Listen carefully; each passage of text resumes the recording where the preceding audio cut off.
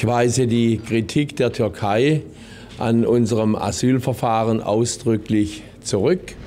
Wir haben ein rechtsstaatliches Verfahren. In einem klar festgelegten äh, Verfahren werden äh, die Asylanträge gestellt und entschieden. Und an diesem äh, rechtsstaatlichen Verfahren ähm, äh, gibt es ähm, äh, keine wirklich begründete Kritik. Zweitens, es ist nicht akzeptabel, dass die Türkei äh, offensichtlich ähm, immer wieder und vielleicht auch dauerhaft die ähm, äh, Abgeordneten des Deutschen Bundestages vom Besuch äh, der Soldaten in Incirlik ausschließen will. Die Bundesregierung wird dies bei den NATO-Gremien zur Sprache bringen. Das ist auch notwendig.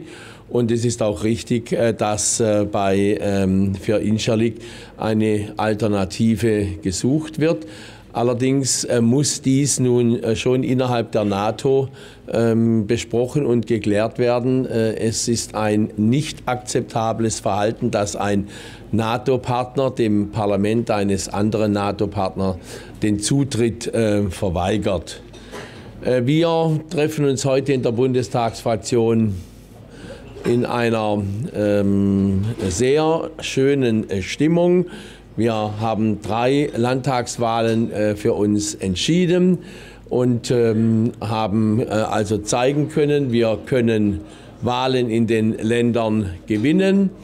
Äh, wir konzentrieren uns aber auch auf unsere Arbeit. Wir haben noch eine ganze Menge Dinge hier in den letzten vier Wochen, den letzten vier Sitzungswochen zu verabschieden. Noch nahezu 50 Gesetze sind ähm, noch auf den äh, Weg ins Gesetzblatt zu bringen. Das ist noch eine äh, ganze äh, Menge. Und ich gehe davon aus, dass all die Verfahren, die wir begonnen haben, auch abgeschlossen werden können.